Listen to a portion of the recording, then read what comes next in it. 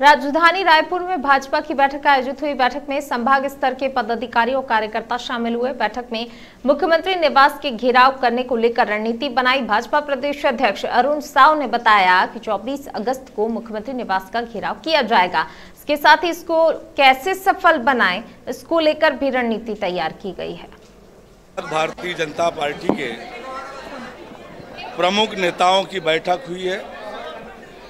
इस बैठक में 24 तारीख को भारतीय जनता युवा मोर्चा के द्वारा मुख्यमंत्री निवास के घेराव का जो आंदोलन है, उस पर विस्तार से चर्चा कर उसकी योजना बनाई गई।